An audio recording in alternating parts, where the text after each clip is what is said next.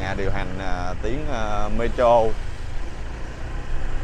Hoàn thành năm hai- à, 2018 nhưng tới bây giờ vẫn chưa giải phóng mặt bằng xong. Nhà điều hành à, metro sẽ rất là lâu rồi. Bây giờ sao? Vẫn chưa đó cỏ mọc um tùm luôn. Kênh mọi thứ về Việt Nam xin chào đại gia đình nha. Chúc đại gia đình một ngày vui.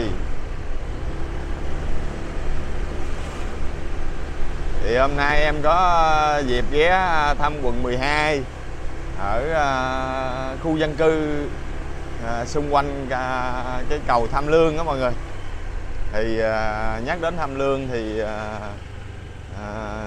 nhiều năm về trước nhiều năm về trước thì cái khu dân cư này cũng đã thành lập mà. Đó, ngày xưa ở đây vắng lắm nhưng mà thành lập khu dân cư cũng cũng lâu rồi mọi người.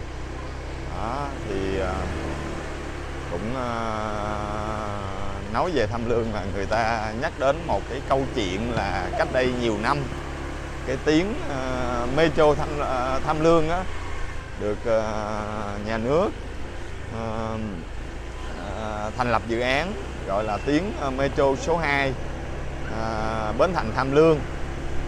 Đó thì à, đã xây dựng cái tòa nhà điều hành cao 8 tầng á, ở khu vực Tham Lương.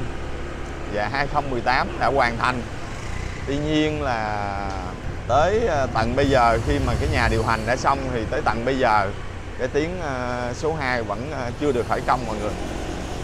Cái tuyến ngay chỗ metro thì nó chạy dọc cách mạng 8 tuy nhiên ở cách mạng 8 tới bây giờ vẫn y ạch, giải phóng mặt bằng. Cách mạng 8 Trường trình mới có giải phóng có một khúc á. Có khúc mặt bằng à thì à, đến bao giờ à, mới giải phóng xong mặt bằng và khởi công à, cái à, tuyến metro Bến Thành Tham Lương mọi người? Đó thì đây là cái khu dân cư. Thì ngày xưa đó mấy cái tòa, chung cư này là lúc mà xây móng đó, xây móng là là để ăn theo sự tiện ích của metro Bến Thành Tham Lương tuy nhiên bây giờ nhìn cái chung cư ờ, ở muốn cũ luôn rồi mà cái tiếng metro vẫn chưa khởi động. Đó, metro thứ hai à, tiếng thứ ờ, số 2 này vẫn chưa khởi động mọi người. Tiếng số 1 vẫn chưa hoàn thành luôn. Đó. Suối tiên bến thành suối tiên. Trong cái khu dân cư này thành lập khá là lâu rồi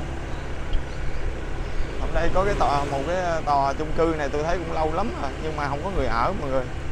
Hồi xưa lấy ờ, lấy cái tòa này hình như là nhà ở xã hội hay là tái định cư gì không biết. Nhưng mà cái tòa này ngày xưa ờ, để phục vụ cho covid á. Phục vụ cho cái theo phục hồi các bệnh nhân covid đó mọi người. Đó tòa chung cư này nè. Ngay uh, uh, cầu uh, tham lương đó.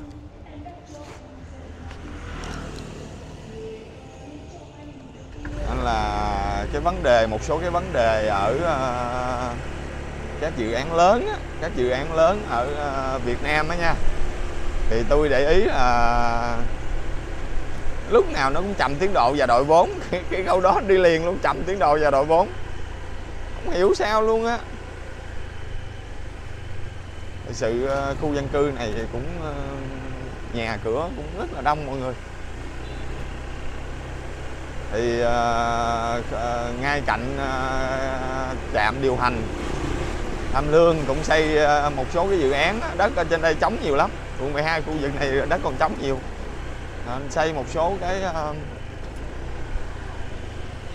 một số cái chung cư đó, để chúng ta ghé chúng ta xem ờ, các chung cư được xây dựng ăn theo tiếng metro Bến Thành Tham Lương nha mọi người và thăm ờ, thăm lại cái nhà điều hành sau nhiều năm. Nhà điều hành ờ, của ờ, metro Bến Thành Tham Lương nha.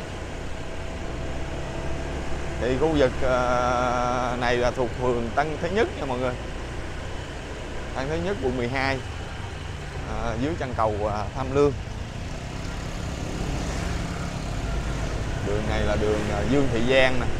Dương Thị Giang là chạy ra tới đường ờ, Phan Văn Hớn luôn.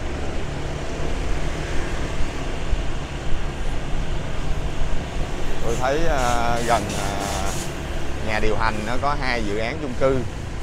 Đang mọc lên một cái xong rồi, và một cái chưa xong. Cái xong rồi hình như là CTL á, chung cư CTL Trung Trang Linh gì đó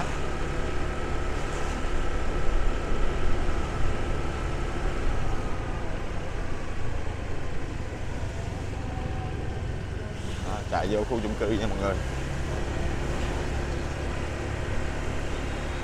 Khu dân cư tăng Tân Thế Nhất này ờ, cũng thành lập lâu rồi.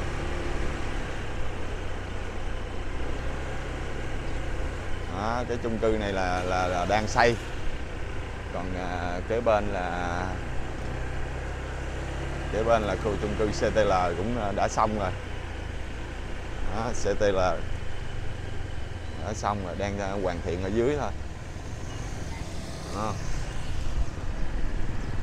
kế bên là nhà điều hành nhà điều hành à, tuyến à, metro. Hoàn thành năm à, 2018 nhưng tới bây giờ vẫn chưa giải phóng mặt bằng xong à, à, của à, đây khu vực nhà điều hành đây. Bây giờ vẫn chưa hoàn thành xong à, giải phóng mặt bằng tuyến à, metro nha mọi người. Đây là xung à, chung cư à, CTL CTL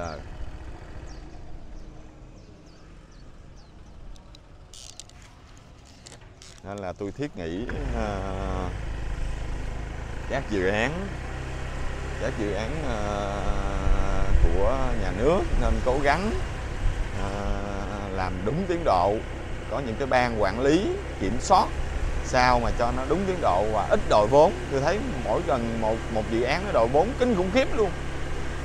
Kinh khủng khiếp luôn mọi người. Đó. Nên là là là rất là nhiều dự án luôn kể cả cái tuyến uh, ờ, metro. Tuyến metro số 1 Bến Thành Suối Tiên đã lỗi hẹn bao nhiêu lần rồi cũng sắp hoàn thành suốt ngày cũng đọc báo là sắp hoàn thành sắp hoàn thành. Nhưng bây giờ sao? Cũng là chưa hoàn thành. Đang nói là suốt ngày lên báo thấy là công nhân làm việc gấp rút. Nhưng mà mọi người biết không? Cái uh, càng cái dự án càng lâu á nó càng lâu nó càng đội vốn mọi người. Đội vốn kinh khủng khiếp. Đó là hy vọng sau này à, các dự án lớn nhà nước cần à, kiểm soát chặt chẽ hơn trong các vấn đề à, kiểm soát tiến độ cũng như à, quá trình hoàn thành dự án. Nhà điều hành metro sẽ rất là lâu rồi. Bây giờ sao? Vẫn chưa đó cỏ mọc um tùm luôn. Cỏ mọc um tùm. Mà bây giờ giải phóng mặt bằng vẫn chưa xong. Đó.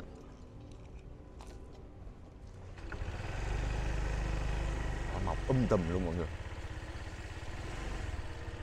Đúng không? Nè nhà điều hành xây à, à, hoàn thành xây 2015 hoàn thành 2018 của Hòa Bình xây dựng